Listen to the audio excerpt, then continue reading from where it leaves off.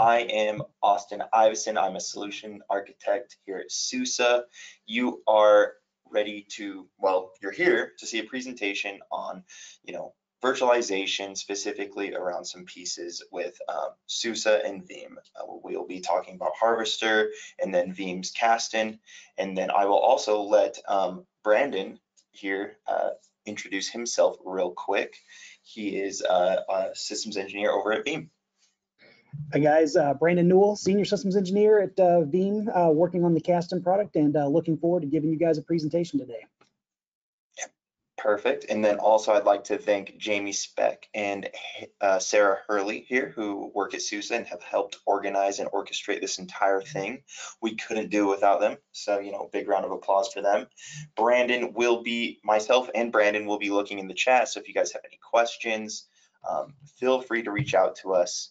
Uh, but let's go ahead and get started. So just to kind of go over what we're going to go through for the agenda, um, I'm going to be talking about Harvester, uh, give you a nice little presentation, and then follow that up with a bit of a demo, and then uh, Brandon is going to do the same. So let's start with the Harvester overview. So another photo of me there, but essentially let's get into it. The nitty gritty of it all is that, you know, according to Gartner and according to a lot of what I'm seeing from my own customers and interactions with people in the, the open source community, uh, cloud native platforms are probably going to be the largest staple uh, that you see inside of organizations. Uh, it's growing and it's going to continue to grow. And so with that in mind, you know, how are you going to be able to accommodate uh, an ecosystem that's changing from, you know, more traditional workloads with VMs to more containerized workloads? Um, and that's where we believe Harvester comes into play. Um, so where does Harvester sit within the timeline of, uh, you know, all of SUSE? Well, SUSE has been around for a really long time. Uh, and as you can see here, uh, we've, you know, had SUSE Manager to manage uh, Linux operating or Linux distributions, uh, so you can do this through a multitude of servers. And then we acquired Rancher back in 2020 to start building up our container management platform. Uh, we've also acquired NeuVector for uh, container security.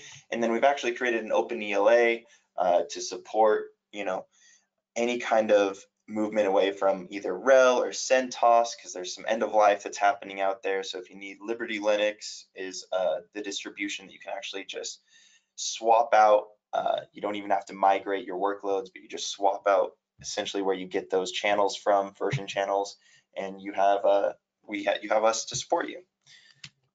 So now to talk about essentially what you're going to want to choose when you are building out a platform to serve to either your end users or internal uh, users.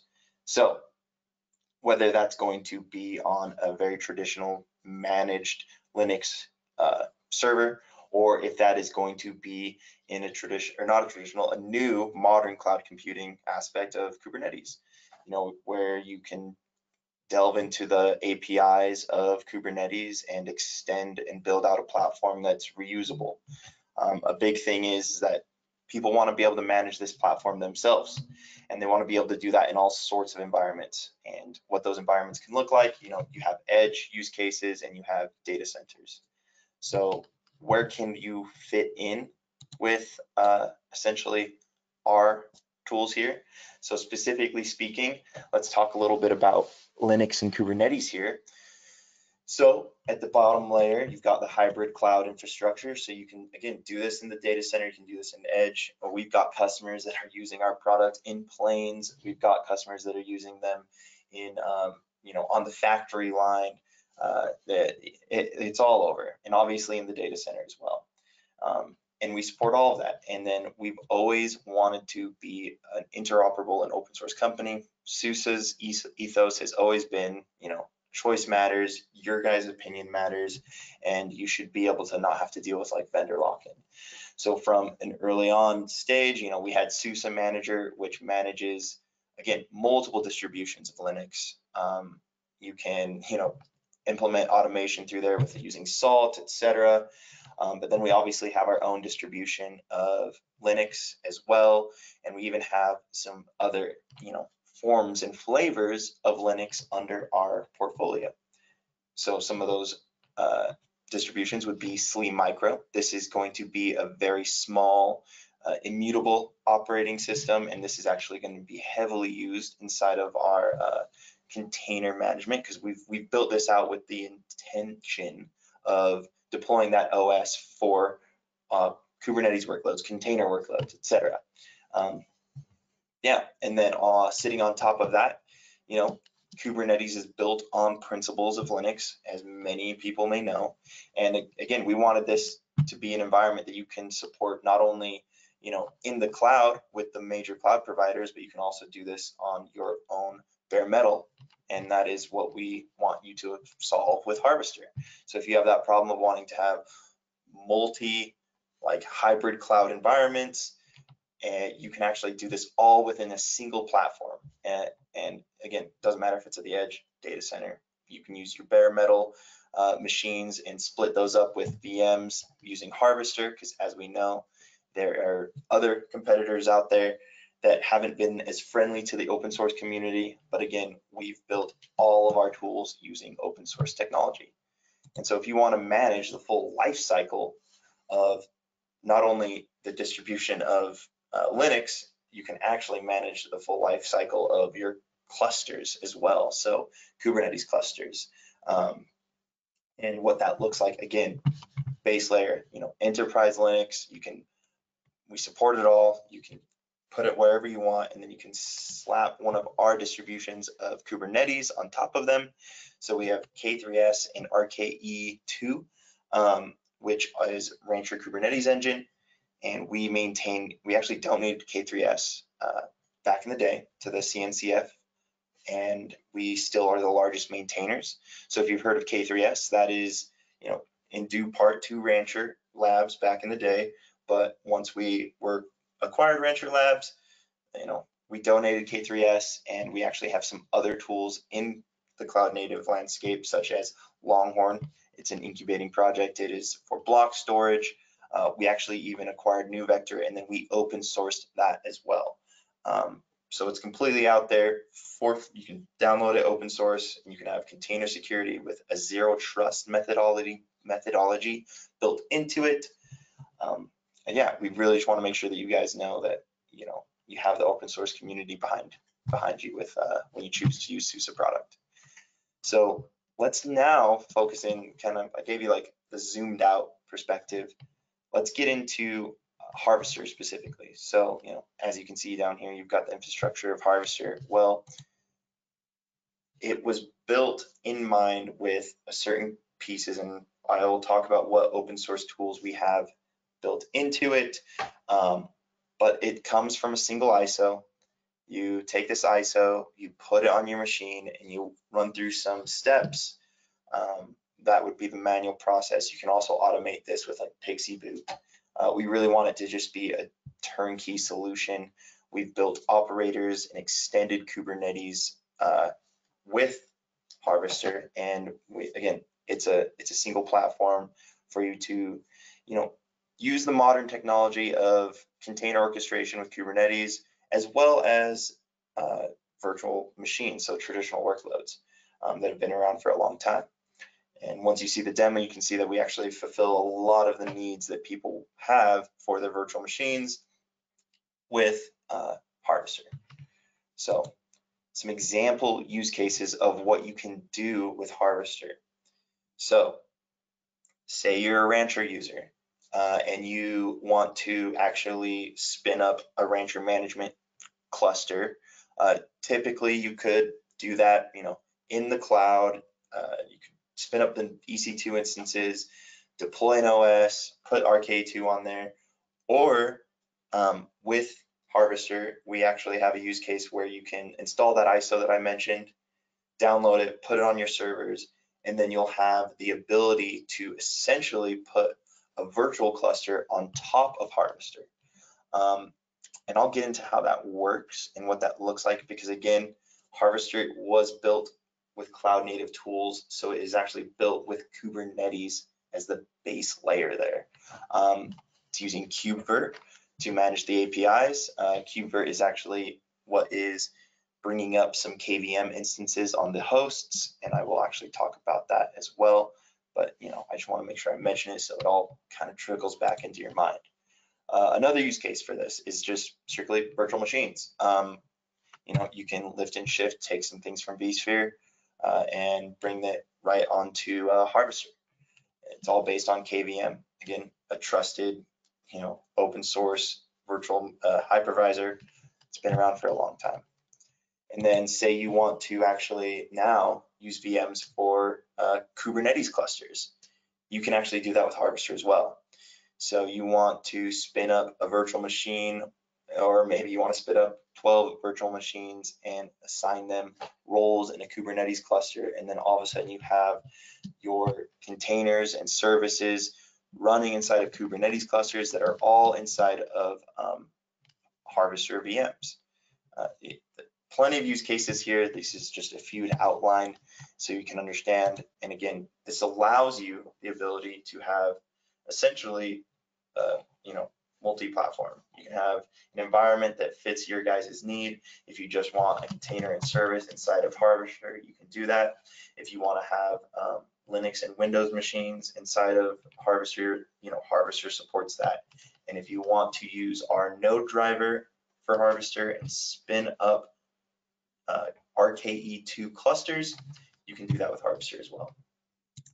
So let's get at the architecture level. Let's kind of take a gander what, like I said, what is built um, inside of Harvester, what tools we're using, what open source tools.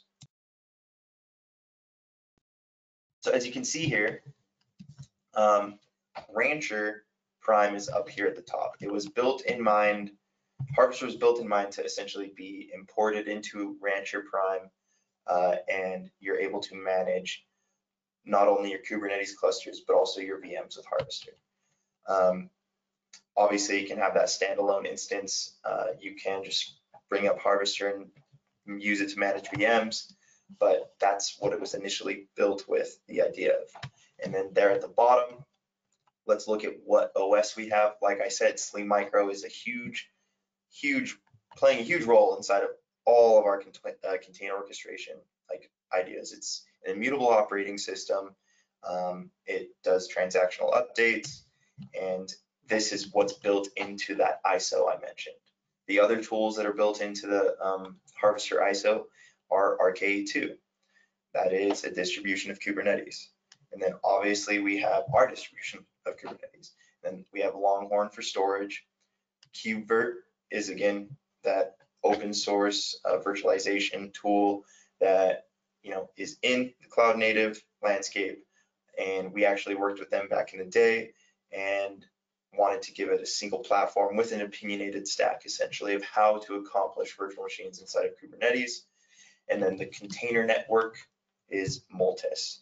Um, and so this is all being managed through one management network and then you have the ability to spin up VLANs um, and then we also have VXLANs coming up and however many uh, VLANs you need to spin up. But again, I want to emphasize that Harvester is built on top of Kubernetes. So imagine, you know, you have a three node, as you can see here, Kubernetes cluster. That is kind of like the bare minimum that Harvester demands for best practices.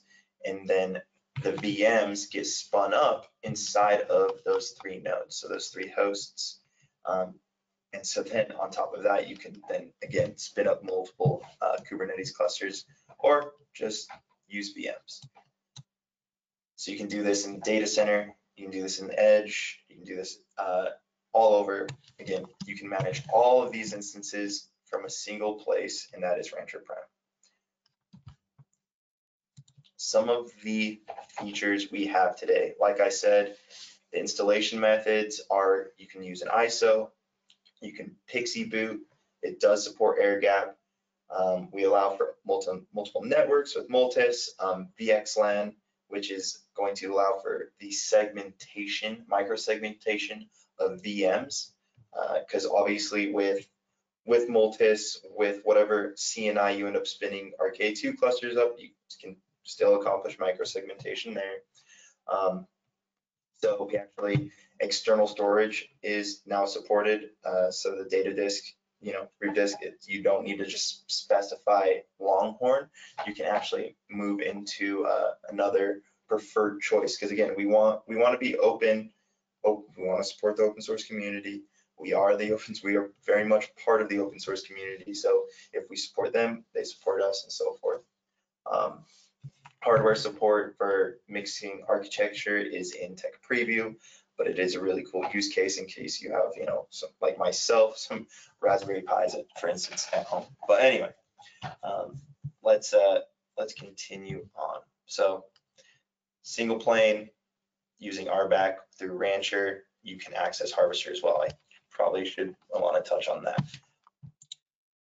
And again, uh, this is all built with cloud native in mind. And so because Harvester is built on top of uh, a Kubernetes cluster, you can extend the use case of that cluster to use other tools inside of the cloud native landscape. So if you're using uh, Argo CD, you know, you have all of this behind you. You have all that, and that's where I really truly believe Harvester starts to thrive and shine is when you take into account that you have all of these other pieces that already work very well with um, RKE2.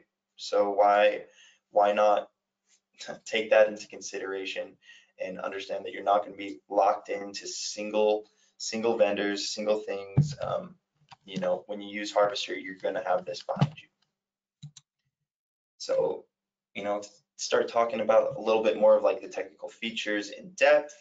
Um, again, so if you upgrade Harvester, it's going to be the same ISO as if you were using a fresh install. Um, because we have that really cool SLE micro under the hood, it does a transactional update. You just have an easy upgrade through the UI. It says, hey, there's an upgrade available. Press that button.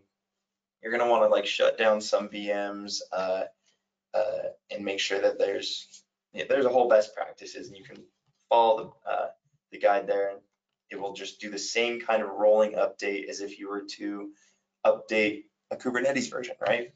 Uh, you know, cordon off, migrate the VMs to one node, that node gets upgraded, fall, so, so on and so forth. So that's how you stay highly available even during like an upgrade process. Here's a bit of what that storage network looks like. Um, you know, again, we have Longhorn um, in this instance, but we just released, we, we heard what the community wanted and they said, hey, you know, we love Longhorn.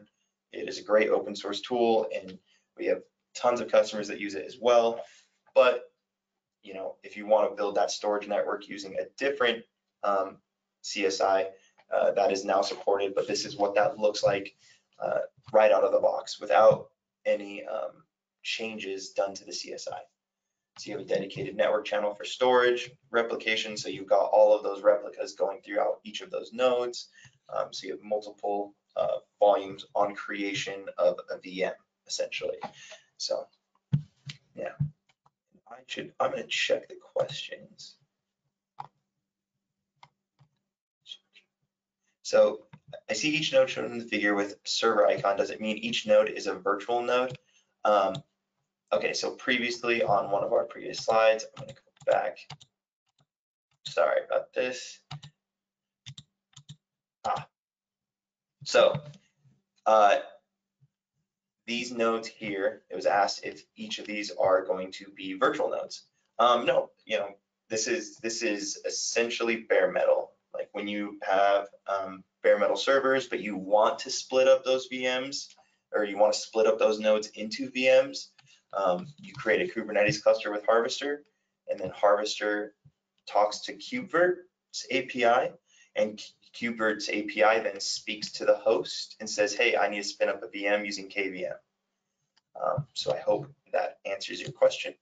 Uh, but yeah, thought I would just show instead of tell. Um, but these are, these in this scenario, these are bare metal machines. All right, let me get to the storage network now. All right, so we're back here. And yeah, like I said, this CSI driver doesn't have to remain Longhorn, but this is very much how all the other CSI drivers would work with a storage network built in. Uh, we also do provide NVIDIA GPU and vGPU support. So we have uh, that hypervisor layer, uh, and then you can actually assign, as you can see here, you can select um, any GPU that you have and then plug it into that VM. So it does support machine learning and AI workloads, hot item, uh, as many know. And then let's talk about a little bit of the logging capability. So one of the things that are built into Harvester is uh, FluentBit.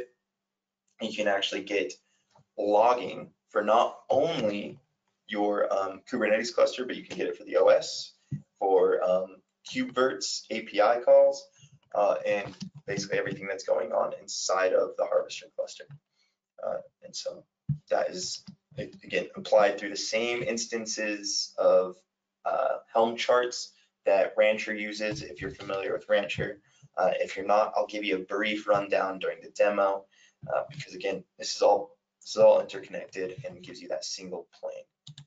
So if you wanted to talk about single root um, IO, this is also, we've enabled the pass through there within harvesters. You can actually, you know, access um, your root and you're able to essentially yeah, use this. This is absolutely a function. And if you want to see what a pass, uh, the CSI pass through looks like, this, I really like this slide because it demonstrates, again, the harvester cluster exists. This is an RKE2 cluster. You have your CSI driver. And then how do you actually spin up volumes?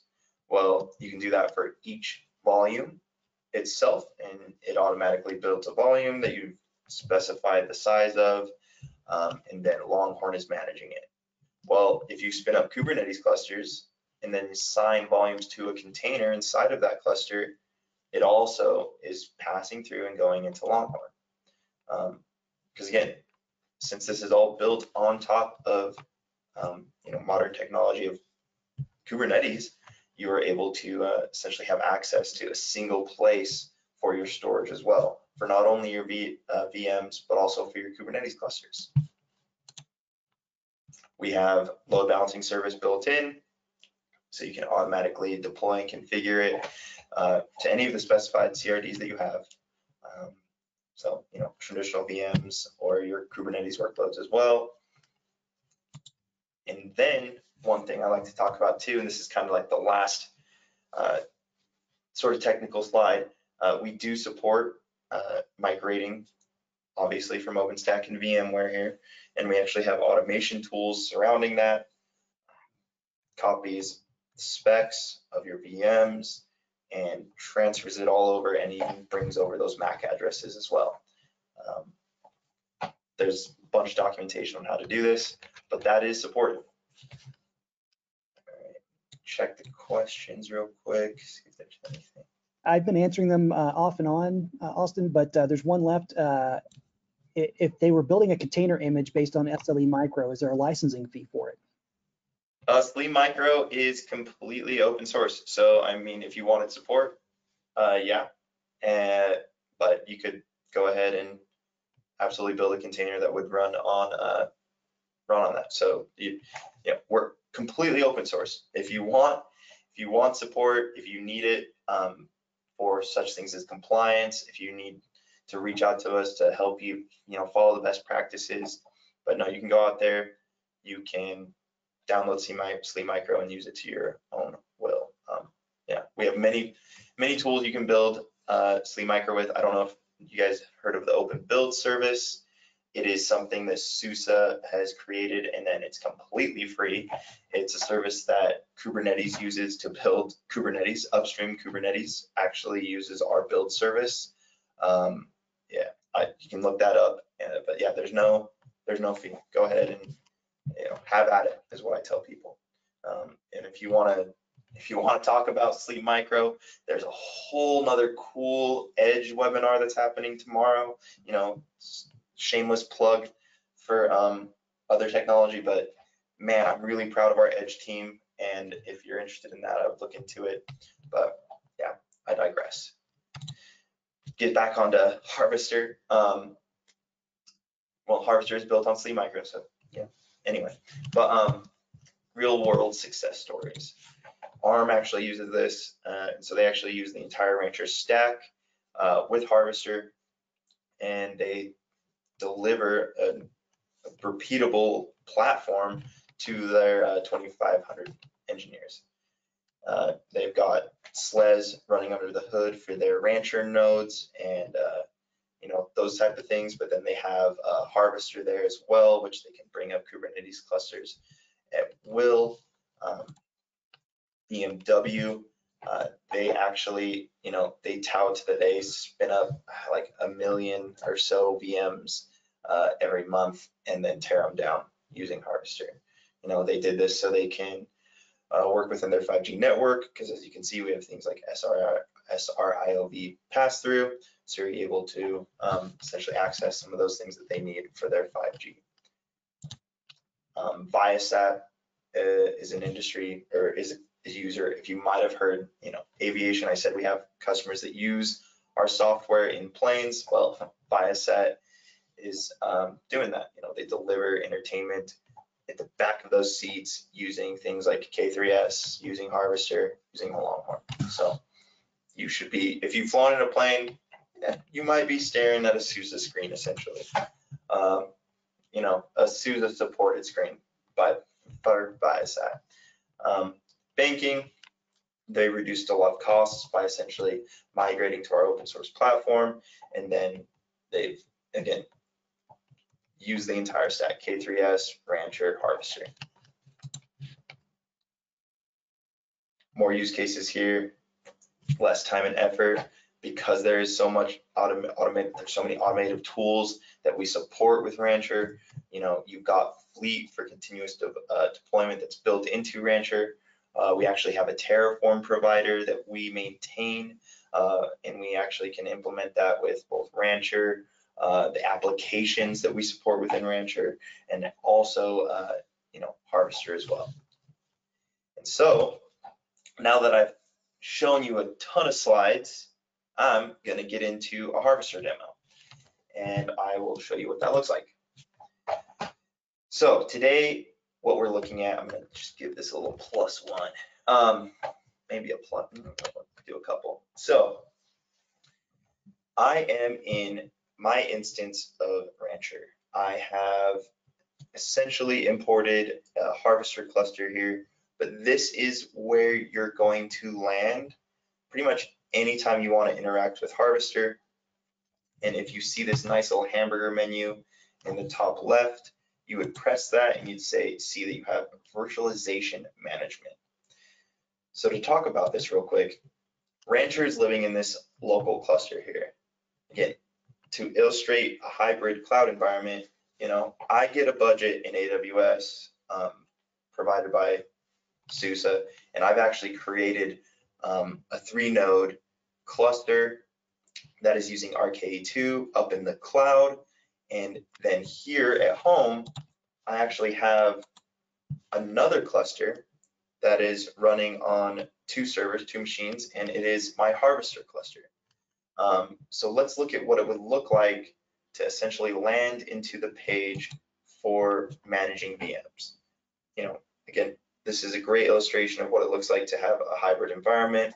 Um, because the way Rancher works, uh, this just sends information up. This being Harvester sends information up to Rancher, and it allows um, for seeing things like air-gapped environments and so forth. Uh, this dashboard is built out to be very similar to how you would interact with Rancher. So, you know, maybe I should have done a poll, but uh, hopefully a fair amount of you are familiar with Rancher. Otherwise, this is going to be completely new. So I will touch base on Rancher here in a moment, um, just to show off some capabilities that Harvester lends to it. But as you can see here, I have two hosts.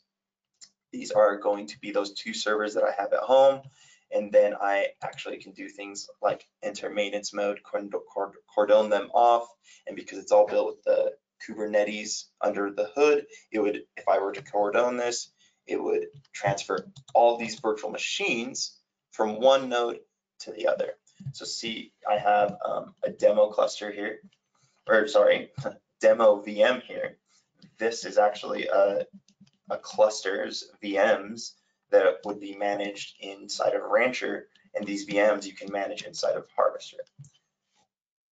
So yeah, just making sure that's clear. But as you can see here, this one VM is on node two. And if I wanted to do a live migration, we actually do have that ability. So I could do, you know, live migration is supported. I just go in here, select this node and press apply. It'll start migrating. And I will take a sip of my drink so my throat doesn't get too dry as I talk. Austin, while you're doing that, another question came in about uh, taking a harvester cluster and replicate to the cloud. And I think this is a great uh, example here of, of migrating uh, from one harvester node to the next. Couldn't we stretch those across to the cloud? That is a great question. So are we asking if we want to stretch the VM, take the VM and essentially put it into the cloud? Uh, the the uh, question was around DR, so for DR purposes, to basically replicate to uh, the question was to replicate to the cloud. So Yes, okay, perfect. So a DR situation, so that'd be handled by um, your CSI driver. And, uh, you know, we're gonna have, uh, Brandon's gonna do a whole demo on how you can essentially secure your data, but Longhorn itself actually allows for you to back up to an S3 bucket. Um, so you could do that, you know, in the cloud. You could, I have an S3 bucket that I throw all of my personal, um, like Kubernetes related Longhorn backups into. Uh, and so since this is, again, all built with that in mind, uh, that same use case is gonna be there. And I can actually show you what it looks like to manage the Kubernetes cluster that is Harvester in a moment. Um, but as you saw, this live migration here, um, it went from Harvester 2 uh, to Harvester 1 now. Did that live migration. And then we obviously have options to, uh, I hope that answered your question, by the way. And, and yeah, I'll, I'll actually show you the, what Longhorn is doing under the hood inside of the Kubernetes cluster itself. But yeah, you can absolutely, like disaster recovery situation, back it all up. Um, so if we wanted to do something like log into a console, this nice little, um, oh, maybe that is going to be, I'm gonna have to change my screen real quick. Because I'm realizing that you guys can probably only see my um, one window. Now, you can probably see my login screen that opened up on another window for my VM. Um, is that correct? That's correct. Perfect. So I have this, um, I have this VM up and running. I just SSH'd into it essentially, and I can start running commands. I can do whatever I have. This is a SLES, um, SUSE Linux Enterprise Cloud-based uh, VM, and I've already got access to it just from this cloud, uh, sorry, from this console instance that I clicked on by doing this. You obviously have VNC as well. So if you wanted to have like a virtual uh, interface there, you also would get that as well. Um, so yeah, um, pretty cool there. Let's say we wanted to figure out how to create a virtual machine. Well, uh, let's do that by going into this create button. And as you can see, you can bring up multiple instances. So you can specify how many VMs, you can do one at a time. Uh, I'm just gonna do demo 2.0, or actually just demo two. I'm gonna specify the CPU here. I'm gonna say eight. I'm gonna give it, let's give it 20 memory because I've got the, not the tout toot my own horn, but I've got a lot of RAM to give my uh, my uh, VMs. And then if we wanted to actually do some more advanced configuring, um, cloud uh, cloud config, so cloud init is actually built into these VMs. Uh, a lot of my personal like interactions with customers, with with users love this implementation, and I actually have a a whole configuration that is spun up for you guys and ready to go. So I can click create here. Oh, I actually have to go into the volumes, obviously select the image, and then I'll even bump up this volume size to say 50 um, and double check everything. It will probably scream at me if I didn't click it, but now this is going coming up and I'm, you know, have another VM coming to fruition. So let's see how long that takes. Um, Are there any other questions while I, we wait for this? And doesn't seem like it, but you know, I don't know if I would have had enough time to answer it anyway, because the VM's up and running. Um, In reality, it's probably going through some bootstrapping process here on the VNC, but you can actually watch that entire automated process happening. Um, so as this boots up uh, SLES 15 on Service Pack 6, you can actually see it all right there. All right, so um, where did those where did that image come from? Um, I like to specify this and show you that you can actually, you know, create a VM or not VM, sorry, you can bring an image from a URL. I've actually put, uh, you know, so like from an S3 bucket if you wanted or so, somewhere, wherever you want to download the uh, image from, you can actually also upload it directly from your personal machine.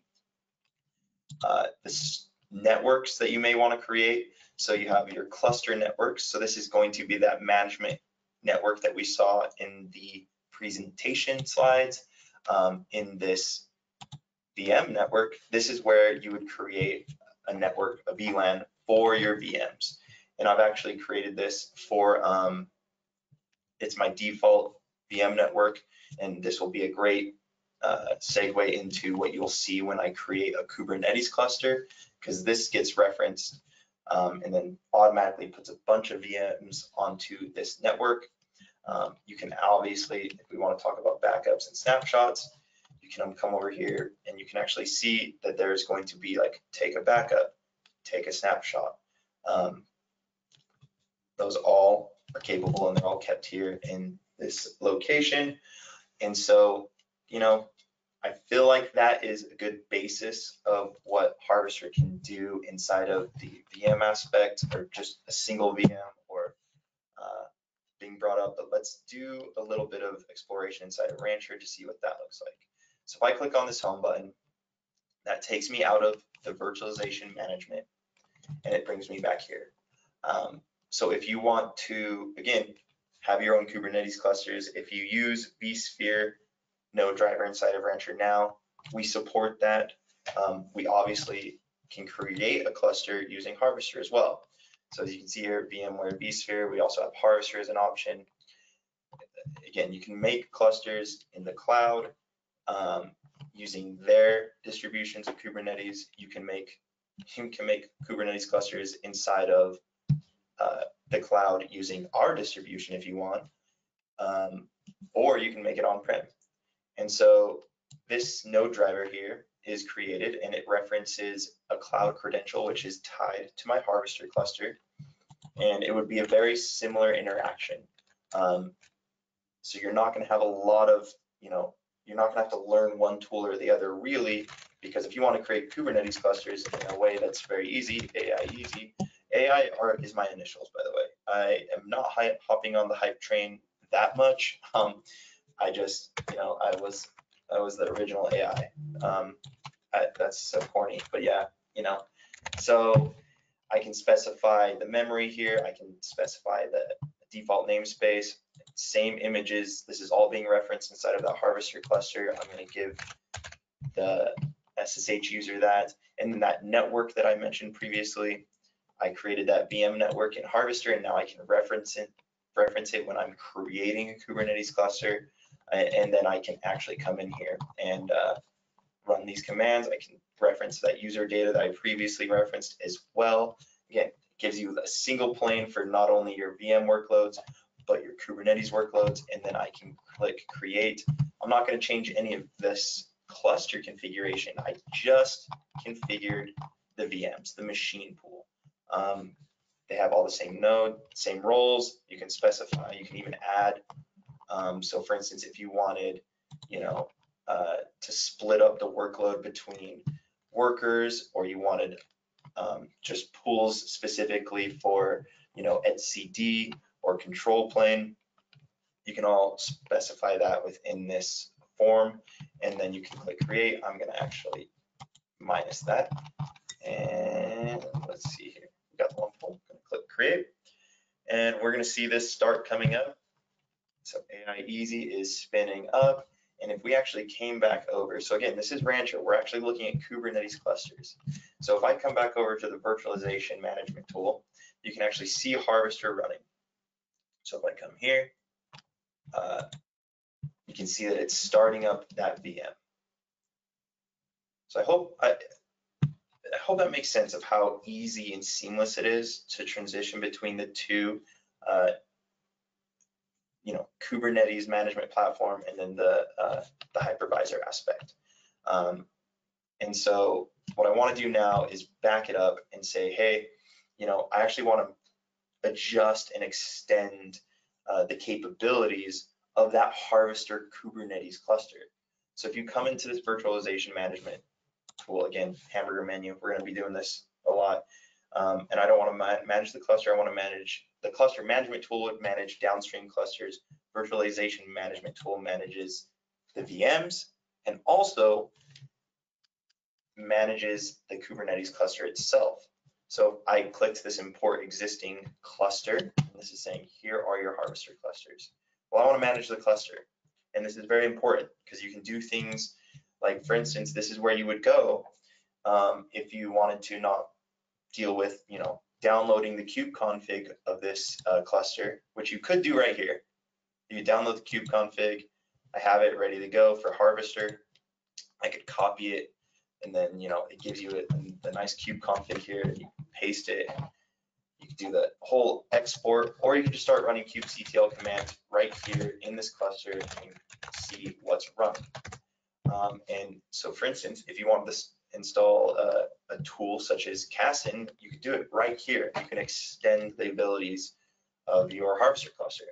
Um, as we can see here, we have a lot of um, tools. Again, everything that I mentioned previously is running here. So we have Longhorn, we have the logging Fluentbit um, up and going, we have monitoring. Uh, all of this is built into this harvester cluster. It's the same concept if you wanted to go look at the pods, you have these pods up and running.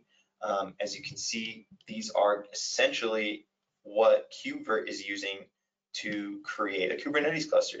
So we have demos over here. You can actually come in and actually execute into that pod to start troubleshooting. So if you, you're not super familiar with KubeVirt, um, we give you the ability to just you know manage those pods themselves that bring up those VMs. Um, and I think with that, you know, we can actually. Um, are there any other questions, Brandon? Sorry if I. Have... No other questions. Uh, I am curious. How did you get that uh, that super secret uh, terminal pop up there on the screen? Oh yeah, let me show you. So this is actually with pretty much any instance of uh, a Kubernetes cluster in Rancher, we actually create this will this would just create a pod, um, and it creates a pod that is essentially running a shell, and it's just this button up here. So, um, for instance, if I wanted to, you know, kubectl create pod, you know, define all the everything like Nginx, the typical thing, you can do it right here. Um, you can obviously create pods using our form um, as well. But if you are a command line savant and like delving into that only, you can do it right there on every cluster. This would this would work inside of the local cluster. This would work in or local cluster, and this would work inside of the webinar demo cluster as well. Um, is there is there a secret key to uh, make that pop up as well? Nope, no. When you say like, secret key, yeah, uh, hotkey, the uh, tilde. Oh yeah, yeah, yeah. Control, um, control, uh, what is that? Oh my gosh. Yeah, control tilde. Yeah. Cool. And um, yeah, so I think that's actually a great segue because there is going to be um, a tool that you're going to see today, Kasten, built into Harvester, or yeah, built into Harvester that uh, Brandon can actually go ahead and give you a demo. So um, again, if you guys have any questions, feel free to throw them in the chat. I'll be observing the chat now. Brandon was doing that so kindly for me, um, but he will take over and show you what's going on with Veeam Kasten. Um, so let's get that going. Hi guys, uh, Brandon back again. You guys have been hearing me answer or bug Austin with questions, uh, but uh, uh if you guys have any questions for me, please ask them during the, the presentation. Happy to answer them uh, on the fly as much as I possibly can. Uh, same thing, we're going to go through a quick couple of slides to explain the Veeam Kasten product, and then we're going to do a live demo, of course. Uh, so let's first start off with the Veeam Kasten history here and where we where we are positioned inside of our ecosystem. So Veeam uh, uh purchased the Kasten product uh, around 2020. The Kasten product's been around since 2017 and uh, we'll go into a little bit of history in the next slide. But what has kept us in the center of this target here of this of this graphic on the right hand side is our focus on enterprise security features, our enterprise features, including things like security. So uh, when we start talking about uh, Kubernetes as a whole, obviously approaching this with a strong security posture is very important for all of us. Uh, there's a lot of moving pieces inside of this ecosystem that need to be protected, and one of those happens to be data protection. Uh, so we do that very well. We have, again, been doing it for the longest and, again, address it from a very enterprise uh, security focus uh, uh, standpoint on our own here. Let's go to the next slide as I mentioned, security is everywhere. So uh, inside of our product. So when we start talking about Kasten, the Kasten product itself is protecting all of your workloads inside of Kubernetes. Okay. And as, as far as integration with the various uh, parts of the ecosystem, naturally we are going to be able to integrate with your CI/CD pipelines, inclusive of uh, inclusive of working with things like OPA or any of your policy agents uh, that you might be adopting for policy enforcement and guardrails. Our ability to integrate with pretty much all of the OIDC uh, providers for authentication uh, is very important. And of course, we integrate with most of the secrets platforms as well for keeping those things nice and secure. And then ransomware protection. We integrate with all of the major providers of object storage, which provide us with uh, object locking. So it, again, uh, lends itself towards a very strong ransomware protection story from that aspect. Uh, and the last couple of things we're going to cover is the role-based access control. So obviously with a, a, product like Kasten can install into your environment with very advanced rights. And those advanced rights are going to be, uh, we need to basically tone that down a little bit for your individual users. So we basically provided you with role-based access control to provide self-service type uh, offerings for Kasten. So that way you can provide people with uh, uh, with lesser rights so they can protect their own workloads or their own namespaces inside of their Kubernetes ecosystem. And then auditing is the last piece we're going to touch on before we leave, and that is auditing at the Kubernetes level. So every operation that you might see uh, occur as, as I'm clicking around inside of the demo, just know those operations are being recorded and stored inside of the Kubernetes native audit logs. So that way you can integrate with pretty much any of the SIEMs that you have out there uh, from a, uh, again, a security po posturing standpoint. A little bit of history here. Uh, stateful sets went GA right around the 2017 timeframe. If that sounds familiar, it's because that's when Kasten started. So the founders of the organization uh, basically had the foresight to say, look, if we're going to persist workloads inside of Kubernetes, where for years we've had people like Kelsey Hightower come out and say that the world of Kubernetes is for stateless applications, they're to be ephemeral and go away whenever they're turned off. But again, that obviously that story has changed, and Kelsey himself has even uh, spoken on our behalf or on the industry's behalf for persisting data inside of Kubernetes because we can do it in a very effective way that is declarative. Uh, so that we can do it safely for our consumers of our applications. Uh, things like the uh, volume snapshot capabilities of the CSI drivers is something that we leverage as a product. So we don't bring storage to the table. We're actually working with your storage under the covers like Longhorn and the CSI driver to provide volume snapshots for those workloads in Kubernetes. And again, we're going to talk more about that as we go on. The three themes that we're going to cover today are going to be data recovery. Uh, obviously, we do a great job of protecting applications that are going to be deployed inside of Kubernetes, but we are also talking about virtual machines today. So those virtual machines do show up and present themselves as containers in the grand scheme of things. Uh, uh, Austin did a great job of covering that before. And what we do is, again, we reach in there and grab the uh, components that make up that virtual machine, inclusive of the underlying storage or the, the persistent volume that's underneath the covers uh, uh, supporting that virtual machine. So we can grab that entire thing, It's just as you would expect us to work inside of a, a VMware environment. We grab the VM and all of its all of its moving pieces and pick that up and protect that. So, and I'll explain how we do that in detail uh, as we go on. Data recovery, again, uh, we address this from a number of standpoints, but security being first and foremost. So encryption, access control, auditing, and then the ransomware protection. The final piece being data freedom. One of the things that uh, that we kind of struggle with as consumers of Kubernetes is as much as we would like to think that as a unifying platform that everybody speaks that same language of Kubernetes, there's moving pieces under the covers like storage that might change from one cluster to the next. And you need a product that can pick your applications up and move those from one environment to the next. And that's where Kasten comes in. So we have data freedom in the form of application mobility where we can actually pick those VMs or excuse me, pick up those applications and move them from one Kubernetes distribution type to the next. So I can bring stuff from the cloud uh, into a Rancher environment or vice versa. Uh, I can go from one version of Kubernetes to the next. So if you guys are afraid of those uh, frequent upgrade cycles that we're forced to deal with for Kubernetes, just know that a simple mechanism might be to simply stand up a brand new cluster with that shiny new release and restore my applications into the new cluster very easily. So uh, we'll talk about how we can achieve that with the Veeam Kasten product. How do we work under the covers? So we're going to talk about how we're deployed. On the screen, we have a control, we have some control plane nodes and some worker nodes under the covers. Those could be Harvester, those could be Rancher. It doesn't matter. Uh, in this example, obviously, we've got a VM and uh, an application there. So uh, how do we work? We actually install into the RKE2 environment underneath uh, the Harvester platform. So we're installing into that Kubernetes into that Kubernetes distribution under the covers as a Kubernetes native application. So this is a 12-factor application, microservices-based application living inside of that Kasten IO namespace.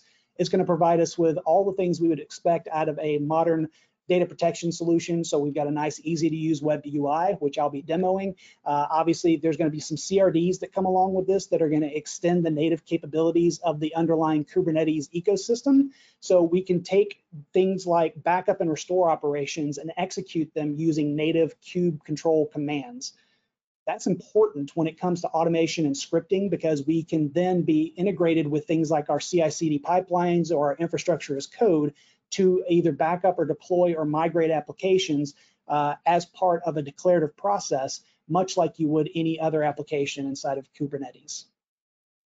We deploy via a Helm chart, super simple, or we're also in the SUSE Rancher application catalog that you guys will notice every time you uh, go into the Rancher um, uh, UI as well. So we're uh, deployable from both locations uh, we deploy to each one of your Kubernetes clusters. So that might sound a bit overkill, but I promise you it's not. It is two CPUs and four gigs of RAM, very small footprint in the grand scheme of things. But once we're there, again, we're able to protect all of your Kubernetes native workloads, VMs, and applications included.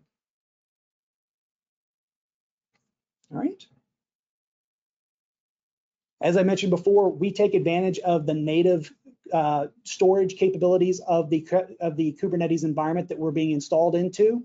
Uh, we're, we're going to use uh, Longhorn for our example here, but again, any CSI driver that supports volume snapshots, which most of them do, uh, this is what we lean on as we execute a volume snapshot against the applications or the virtual machines persistent volume that's under that's uh, underneath the VM.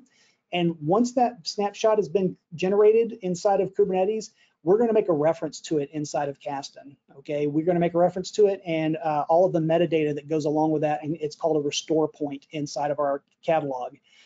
Once we've got that snapshot reference, we then mount that snapshot inside of our namespace as a persistent volume. And then we do the magic stuff after that. We take all of the data that's underneath that's inside of that volume that we've mounted from your snapshot, and we're going to deduplicate it, compress it, and encrypt it before we send it off to the object storage of your choice. So we support pretty much everything that's out there, your uh, Google Cloud Storage, S3, S3 compatible, Azure Blob, you name it, even NFS uh, are possible targets for being uh, backing up for a backup target inside of Veeam Kasten. All right, I'm going to stop right there. Typically, there's questions after that, but who knows? Uh, all right. looks like there is an SAP. I, I think I got this one. I was about to say, this one looks like, it's got your name Yeah. written all over it.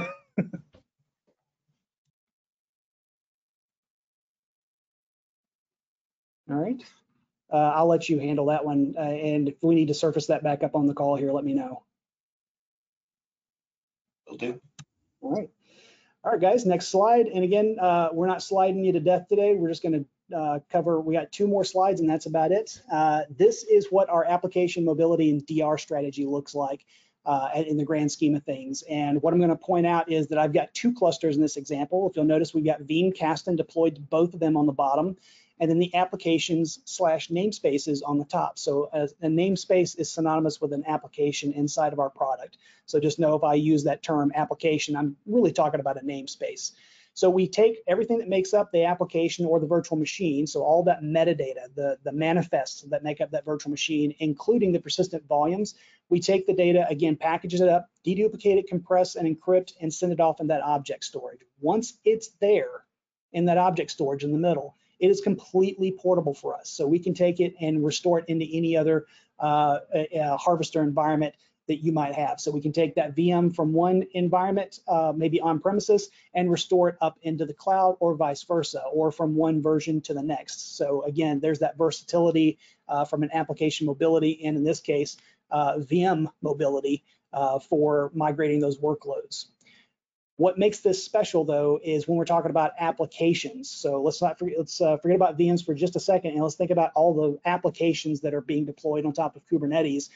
When we capture these uh, applications, we can transform them on Restore to fit into any other Kubernetes distribution type. So what that means is when I restore, I can change the underlying storage.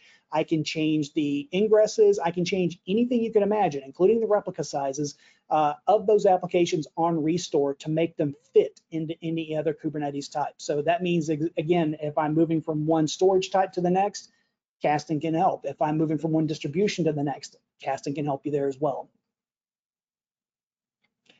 All right. Uh, this one slide I borrowed uh, from uh, some some good friends in the ecosystem of Kubernetes, and this is where they have done. And this is a screenshot, so there's there's there's got to be a better quality of this somewhere out there in the world, uh, where we basically tried to marry up between the two ecosystems, between VMware and then the Kubernetes environments, uh, where you know what what kind of syncs up to what right? Uh, there's the concept of data stores inside of vsphere and volumes inside of kubernetes and so forth. So what we've got on the screen here is basically a comparison of the two to try to help people get their heads wrapped around. So the concept of a virtual machine is basically a pod or a vm inside of kubernetes. And inside of that or outside of that pod it's actually being held inside of a namespace which is synonymous with a resource pool inside of vmware uh, this obviously is a work in progress and will continue to uh, evolve. And there's some things that I would like to change about it as well, but uh, to kind of help everybody get a, a, level set of where we're at when comparing the two technologies. All right, guys, uh, the next piece we're going to cover is actually going into a demo of uh, the Kasten product. Can I actually butt in? And it looks like there's a great question. Um, as Kasten takes the mobility approach from namespaces, I guess the VMs in Harvester are based on KubeVirt. Kasten can move VMs only to a destination where KubeVirt exists as well, correct? That is correct. Yes, we don't bring the KubeVirt with us. We, it needs to be there beforehand. Good question. And before anybody asks, no, we can't go from one KubeVirt version to another. Uh, before that one pops up, uh, I, I, got a feeling that one's coming. Uh, but uh, so no, we we're going to go from Harvester to Harvester, basically. Right. There are far better tools for VM migrations. All right, guys, let's go. We're going to exit out of this. All right. All right, guys, uh, in my environment, I've got my harvester, uh, we'll call it a cluster, it's a single node, um, but I've got a virtual machine running in it that I need to get protected let's figure out uh, let's figure out what we need to do to actually get that done. So we're going to uh, install Kasten into the harvester node. So again, uh, what that's going to do is basically uh, we're going to do a Helm install. Uh, at least that's the way I did it for my environment. And uh, the Helm install is pretty straightforward. It's Helm install K10, Kasten, K10, and then of course we specify the namespace and so forth. So it's just that easy. Once that's done, it's up and running. And uh, as part of the installation, we take advantage of the native ingresses. So what we end up with is this screen. Uh, and this is the Veeam Kasten product. So this is actually running inside of the Harvester RKE2 system. So the, the underlying Kubernetes that's running Harvester, we are living inside of that. So we're taking advantage of all the native Kubernetes uh, resources that we have available to us, inclusive of, uh, again, those ingresses, the load bouncer, all that fun stuff, so that we can protect the virtual machines. So what we're gonna do is click on the applications here. And again, remember, applications synonymous with namespaces. And I'm gonna hone in on where that virtual machine lives. So let's go click on this. Where does this guy live? He's in the default namespace. And uh, this is the Just Enough OS. Uh, it's the cloud uh, distribution for OpenSUSE. So that's what I chose to use for my uh, virtual machine here. Let's go take a look at it real quick. See if there's anything of use in there. Let's go to Veeam. And yes, I know this is probably very tiny, but we cannot uh, do anything about that from this perspective. Unfortunately, I think I can make it a little bit larger. No, we're stuck at this size. So what's in here? All right, we got something that's important. Why is it important? Let's go take a look at it. Uh, cat important. Huh. All right, let's do cat important. And then we're gonna pipe that out to base 64 and decode. And because I did the wrong thing. Oh, look, it's like a YouTuber. All right, so we've got some very important information we need to protect, so let's go protect that now. All right, guys, uh, we're gonna go look in the default namespace. I just clicked D in the box up there. The Kasten UI is built in such a way to be super responsive. So if we had hundreds or thousands of namespaces in this uh, view, we can sort through them very, very quickly by just clicking on the box there and starting to type in the name of the namespace. So in this example here of the, of the default namespace, we see that there's a single volume out there, a single workload in the case, uh, in this case, a virtual machine, and then some of the uh, resources that are going to make up that that virtual machine as well. So all those are going to be out there. We can see the contents of this by going and clicking on the ellipses on the right and go into details. And this is going to show us everything about that virtual machine that uh, Kasten is aware of from a Kubernetes perspective. So again, we got custom resources, we've got configs, networking, all that is going to be stuff that, again, we discover as an application. So as new applications and new virtual machines come into your cluster, Kasten is going to see those and actually uh, we can set up policies to automatically protect those virtual machines upon uh, being brought into the environment. So we do that using labels and I'll go into more of that in just a minute. So what we're going to do is uh, click on this and do create a policy. So we're going to create a policy to protect the virtual machines in the default namespace. I'm just going to call leave that as is this is going to be this is going to be uh, similar to the way uh, this is going to be exactly the same way that we would protect a, an application inside of Kasten as well. So we have the backup frequency. We can back up uh, virtual machines and applications as frequently as every five minutes. It's pretty aggressive. So again, that would be a snapshot operation that I would that that would be happening every uh, five minutes in this case. If we have multiple VMs uh, being protected by this single policy, we can stagger those over the course of a backup window. So we can actually use staggering and then select our backup window here. Snapshot retentions. This is actually for the snapshots on disk. Uh, the snapshots on the disk, obviously, uh, this would be a very aggressive snapshot schedule. So we've got this convenient button here set to zeros, and we'll put something a little bit more sane out there for that for snapshot retention. Again, this would be us talking to Longhorn, telling Longhorn to execute the snapshots uh, for the virtual machines. It's not a backup until it gets off the cluster, of course. So let's click this button here to enable backups via snapshot exports. And we can do, uh, we can select our backup target. In this case, I'm uh, uh helping out our friends over at Wasabi. So they're providing us with an S3 bucket for this use case. So again, this is an S3 compatible uh, backup target that I'm backing up to. And I can keep the same retention schedule as above so that every uh, 12 uh, hourly backups or uh, 12 hourly snapshots, or I can have a custom retention schedule, which is what we would recommend. So that way I can have more snapshots setting out on my uh, S3 object store. So fewer snapshots on disk, lots of snapshots out on the object storage. I think that's how most of us would probably design that. And we've got the application namespace here specified, but if I wanted to, I could go type in other namespaces. And while this looks great as part of a demo, at the end of the day, this is not how we're gonna do it as administrators. So what we're gonna do is select by labels. And what you can do is put a label on the namespace for your VMs, something very simple, something as simple as backup equals true. And now every namespace that has backup equals true is going to get protected by this policy and get sent off to that S3 storage. All right. Uh, the last piece I want to cover before we move on is this piece, and that is the snapshotting of the cluster scope resources. Sometimes in the world of Kubernetes, not everything lives very tidily inside of a namespace. Uh, so some things are cluster scoped, so like CRDs and cluster roles and cluster role bindings, we can capture those as well. And while you might think that would be an awful messy thing to, to capture, you would be absolutely correct. So we have the ability to filter on those. So we can do include or exclude filters to make sure that we get exactly what we need from those cluster scoped resources.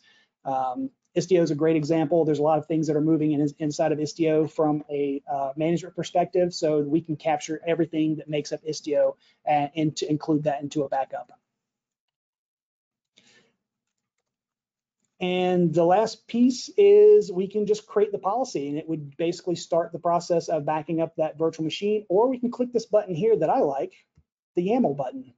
Everything that I do inside of Kasten is going to be declarative, meaning that I can take everything that I do inside of the UI and it's going to build up a policy uh, uh for me to where I can take this and integrate this with my CI CD pipeline. So again, we try to be as cognitive as we possibly can about the use cases that we're going to be used with inside of a Kubernetes ecosystem. And that is making sure that we play nicely along with your DevOps and GitOps best practices. So when you're talking about protecting your applications in those environments where everything might be completely declarative, uh, just know that we can be integrated with that process and protect those applications at scale as you guys are adopting and staying uh, true to your GitOps or DevOps practices there uh, for deploying those applications. There are some questions in the chat if you want to take a quick Yeah. gander. This is a perfect time to stop too. So hang on a second. Supposedly takes mobility approach from namespaces. I think we answered that one already. And let's see here. Yes, Kasten is uh, is a paid software. There is a free version that can be used for up to five nodes. So you guys can actually download and install Kasten in your home labs and demo environments, and uh, it will not bug you for licensing for up to five nodes. So that's uh, that's how I got my start with the product. Uh, so just know that you guys can get started today with Kasten uh, on top of Harvester inside of your home, inside of your labs and demos and demo environments. And then does Kasten also work with uh, work as traditional Veeam backups regarding full and incrementals? We are an incremental forever solution, so I think that's a yes. Uh, so to, to, answer that question, so yes, there it's the first full backup, and then everything after that is the deltas or the incrementals. So hopefully that answers you guys' questions on that one. And then restores. We are going to cover restores in uh, in just a second, as a matter of fact. So uh, I want to cover a couple things before we move on to that. Uh, we've got the concept, obviously there's a lot of moving pieces inside of Kasten, so you can actually set up Kasten to back itself up. Crazy, I know, right? So we can actually back our own software up. And we would want to do that because there's a lot of metadata that comes along with backing up applications and VMs, right? So a lot of that metadata is going to get saved inside of our own catalog database. Uh, there's also uh, the concept of the policies and the blueprints and a lot of the other moving pieces that make the product successful, again, would all get captured as part of that backup process that you can then go back and very easily restore, again, as a part of a, uh, a declarative process, uh, scripted process if need be. So in the event of a complete outage, we can deploy a brand new Kubernetes cluster, deploy Kasten, restore it from the backup, and then start the restore process for the applications, again, using those declarative YAML files to execute those restore operations. So again, everything that we do inside of the environment should be able to be automated completely from beginning to end from a restore, from a backup perspective, all the way down to the restore operations. As you can imagine, we do install with those advanced rights. So I'm going to leave this. And as we mentioned, we mentioned this earlier, uh, we can actually create new user roles. So I'm going to create a new one for myself. And I've got role levels here. I can go specify specific namespaces that I've got access to. I don't know if it's on my end only, but I'm only, I'm seeing stuck on, I'm seeing that you're stuck on the restore page and your webcam froze. Oh no. Can you hear me? I can hear you just fine, but you're, I'm unsure if anyone else, I wonder if one of the, I wonder if, Jamie, is it, is it frozen for you guys as well, or is this just a me instance? I don't, I just don't want this to be affecting anyone. Um, it's a little frozen for me. Okay. Um, let's see. I don't have any kids home watching YouTube or Netflix, so I don't know. Maybe it's one of those like turn off, turn on, turn off again, or turn off, like just maybe like stop sho- sharing and then Yeah, reshare. Yeah. How about now? You Just scroll. Okay, now you're at user roles. Perfect. Yeah, before Perfect. you were stuck on the restore casting. Oh, perfect. Your mouse is moving again. Sorry about that. No, no, no. Thank you for telling me. Uh, That, that would have been a very boring uh, demo otherwise. Yeah. I was like, wait, we're not, we're still in restore. Where's the roles? I've seen this All right. before. Click on the, let's click on the button and actually do what I was talking about earlier. So we're going to create a new role-based access control for me. And what I can do is specify the namespaces that I'm going to have access to. And then I can go give myself those rights to back up and restore. And what this means is the next time I log in, then I'm going to have specific access to that namespace. And those are going to be the functions that I'm going to be able to execute. So this lends itself very heavily towards a self-service offering from Kasten.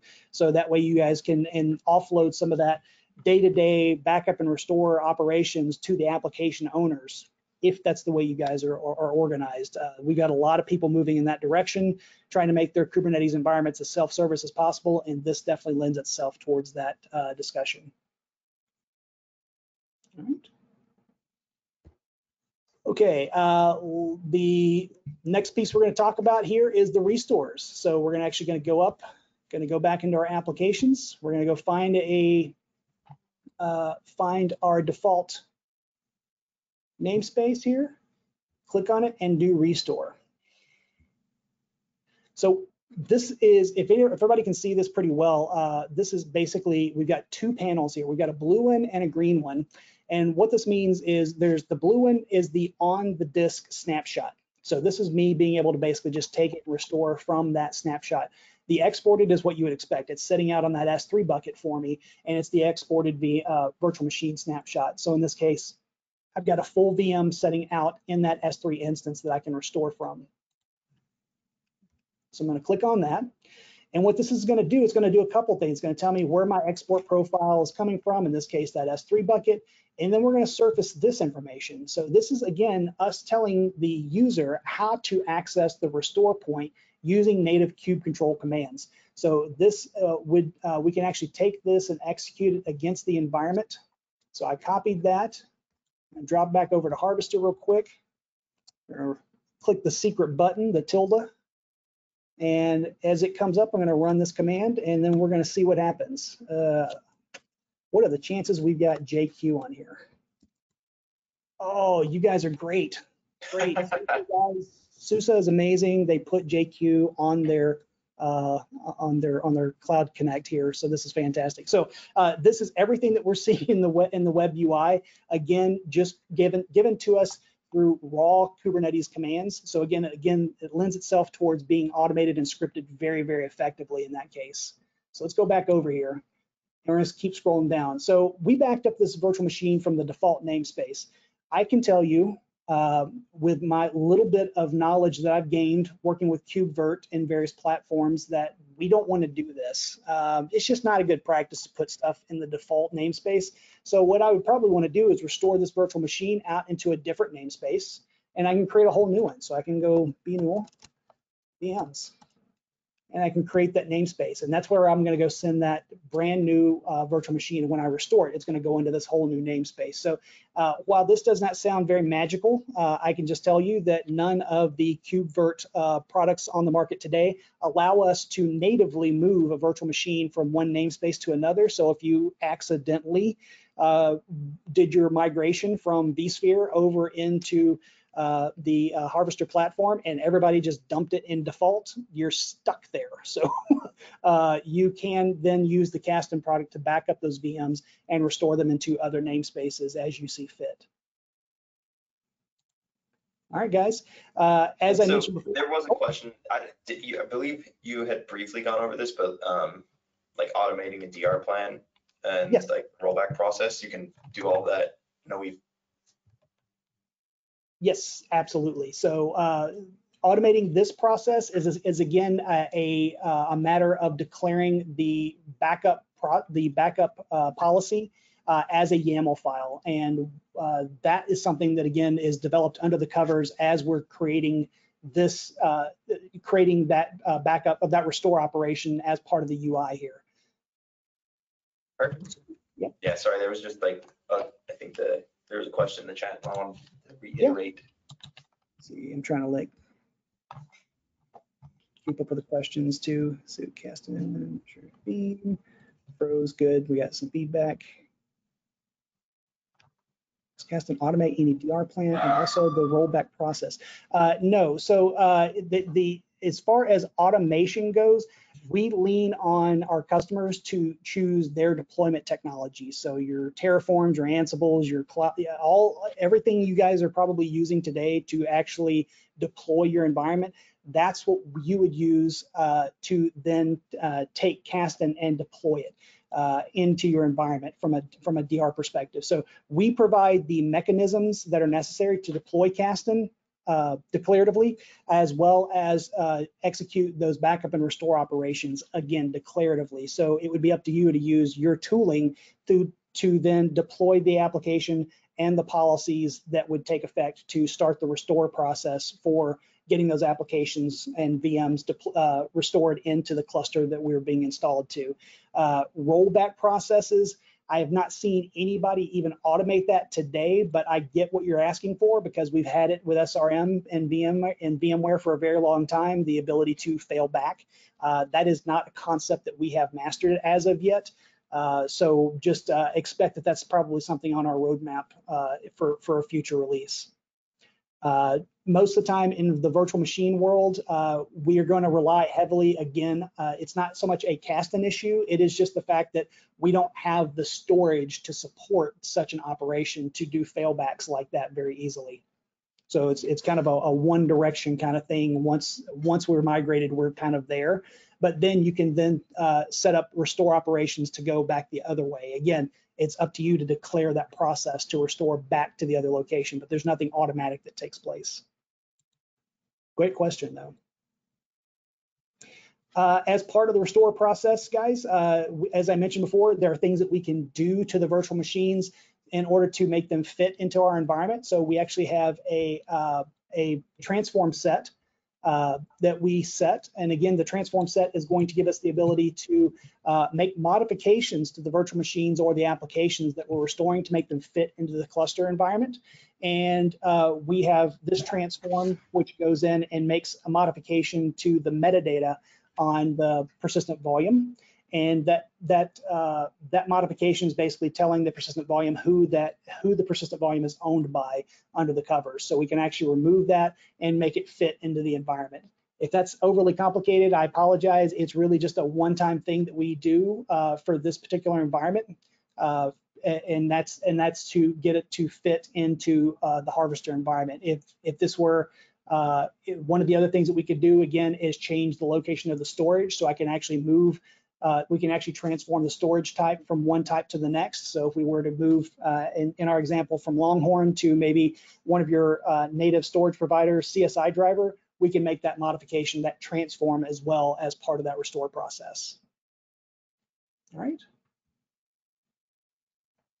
All right, guys, add a reference there, and then uh, we can also get selective. So again, uh, you might have namespaces with multiple virtual machines in it, perfectly fine. What we can do is get uh, uh, dig down into that environment. And a couple things that you'll notice if you do have multiple virtual machines is we'll have multiple volumes here. So each each virtual machine would have its own volume attached to it. And then we could go through here and find the virtual machine assets or a manifest that make up, so here we go, virtual machine images and virtual machines. So this guy right here is actually the brains of the operation. This tells Harvester what that virtual machine is made up of, how much RAM, CPU, disk, all that fun stuff is going to be located inside of this manifest. And if we had multiple virtual machines, you would have multiple of these uh, uh, resources out there to choose from. So we can actually selectively pick each virtual machine that we want to restore instead of doing them all at once. We can actually do them one at a time if, if you would like to do it that way and restore it into those new namespaces. All right, any questions there?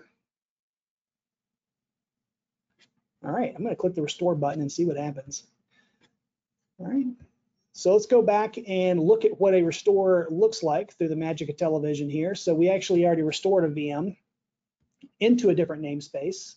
So uh, the restore operation took place and it took about three minutes. So that was three minutes and 45 seconds to basically pull an image down off of S3, uh, off, an, off an S3 bucket, serialize it, put it into a new persistent volume, and spin that virtual machine back up. So three minutes and 45 seconds.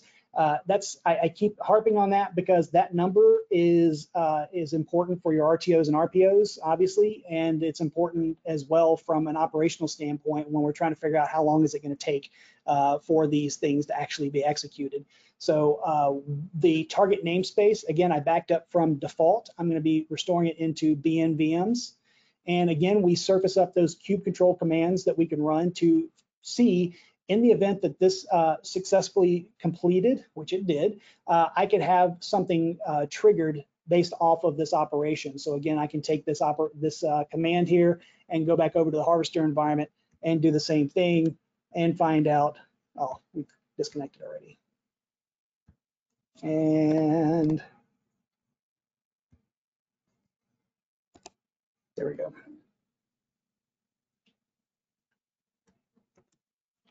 And JQ. All right, so this is all of the, uh, everything that occurred as part of that restore action. Again, all of this stuff is completely available to you via the native kube control commands so that things can be automated and scripted. And let's go find what we all came to look for, and that is you restored the app, you restored the virtual machine supposedly, so where is it? So we're in the default namespace right now. I'm gonna go click on this. And there we go. We are now in the BNVMs namespace, and there's our virtual machine up and running. And uh, if anybody wants to go see me go through that silliness again, we can see this.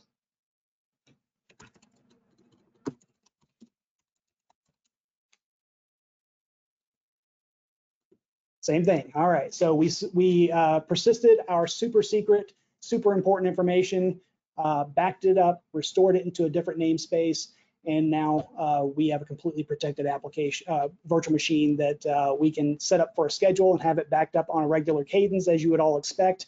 And we could even go through the process of restoring that on a regular cadence as well. So um, that's, uh, again, for those multi-cluster environments where I might want to back up a virtual machine from one environment and restore it into a completely different one. This is where you would do that uh, operation is inside of Kasten. Guys, I have, uh, that is, the last piece I want to talk about is blueprints. So as part of the restore operation, uh, I, let's, instead of talking in, in maybes here, let's go back to this. I'm going to go back to my default and click on this and go to restore. And we're going to scroll down here. There are these pre and post restore action hooks stick with me here. Imagine this is a database virtual machine. I'm not sure why you wouldn't be why you wouldn't just run a database natively on top of Kubernetes, but that's not, neither here nor there. Uh, let's say it's a it's an app it's a database. What we can do is reach into that database using our blueprints and quiesce the database before we execute a snapshot. Everybody understands databases enough to understand that we need to do that to get a clean backup of a database. So that way, if you're in the middle of a transaction, it's not setting up in memory while all of his friends are happily sitting on the disk. We can actually uh, uh, run queries uh, before and after snapshots take place in order to ensure a good clean backup of that database. And we do that using blueprints. One of the other things is in this case, on successful restore, I can actually have queries executed against that database using its native language. So we'll pick on SQL for a minute. So let's say it's a Postgres instance sitting on your top on top of your VM. I can actually run a uh, as part of the restore process, actually execute a query against that database to make sure that it's returning a query as I expect it. So not only is the virtual machine going to be considered uh, uh, healthy to Kubernetes and functioning. Maybe it's got an IP address and all those other fun things, but we can actually go a step further and test the validity of the underlying database itself by running queries against it. So that's something that we can do with blueprints. And I'm going to show you real quick what a blueprint looks like. Uh, no, I'm not going to show you what a blueprint looks like because I'm not in my environment. uh, let's do it here. Come on, guys.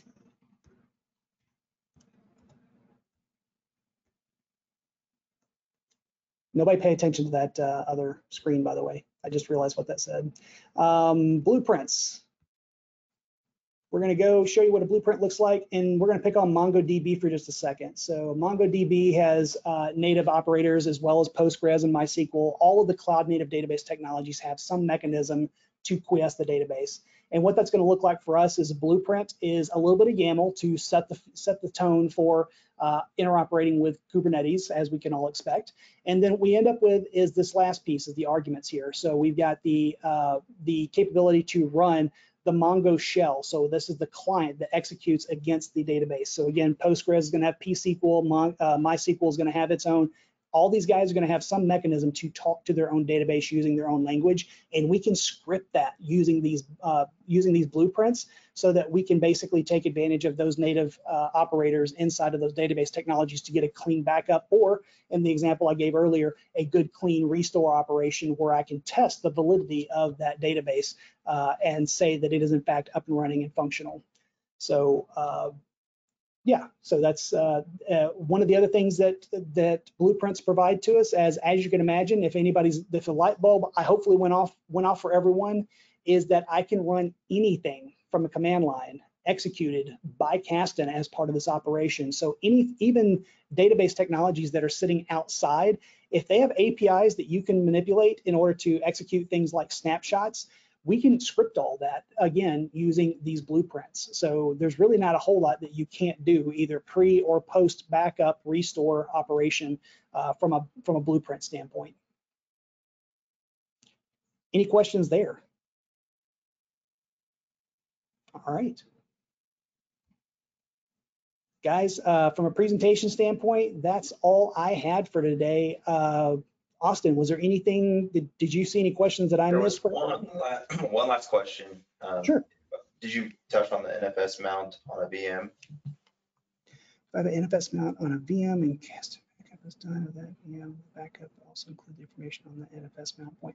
Uh, the information will be housed inside of that mount, po- inside of the virtual machine, if I understood you correctly. Um, I wish we could have people just come off of mute, but um, if I understood correctly, so you're going to mount the the NFS volume on the VM. Kasten is going to back up the VM and the persistent volume under the covers and that's it. We're not going to back up the NFS mount itself. Um, so uh, hopefully that makes sense. Oh, yep, that answers question. Perfect. All right. I like it when I can answer questions. Uh, any other questions, guys? All right. Perfect. I'm going to hold on a second. I'm going to flip back over and show our prezo. Oh, you were about to do it? Okay. Oh, you do it. Show.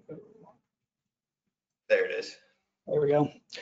All right, guys, uh, the fun and awkward time, and that is taking your phone out and getting a picture of the QR code to fire it in anyway. Uh, or you could just go to the URL on the bottom or wait till we send you guys the copy of the slides, which everyone is going to get as part of participating in today's presentation.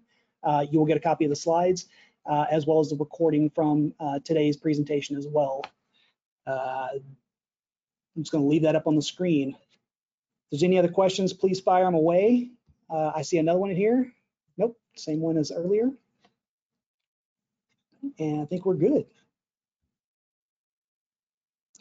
Guys, thank you all for your time today. Uh, this has been a blast for, for Austin and I. I know we, we really enjoy working together. We got a chance to work together in Minneapolis a few weeks ago. So uh, this is very fun for us. Uh, we get to geek out with all of our uh, fellow Kubernetes people. So this has been very fun. And if there's any questions, Austin and I are both available uh, as as part, or, or, you can reach out to either one of us over our LinkedIn. I think that's in the deck as well. That's going to be shared.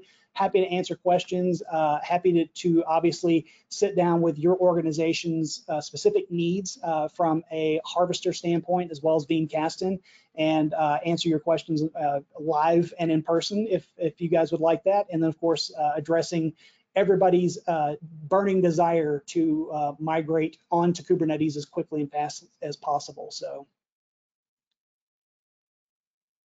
Austin, any questions there or anything uh, you No, want to add? sounds good. And uh, kudos. I also have been loving these uh these presentations. I'm sure we'll be able to get another one under our belt soon. Absolutely.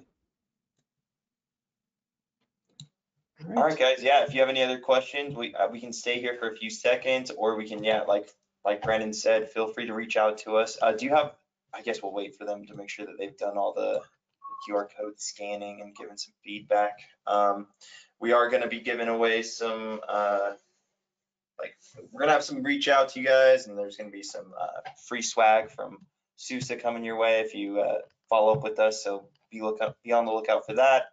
Um, cool. And if, uh, if that's it, I think we can probably stop the broadcast. We will be sending out the slides and a recording of the entire presentation and demos. So be on the lookout for that as well. Um, thank you so much for the time, guys.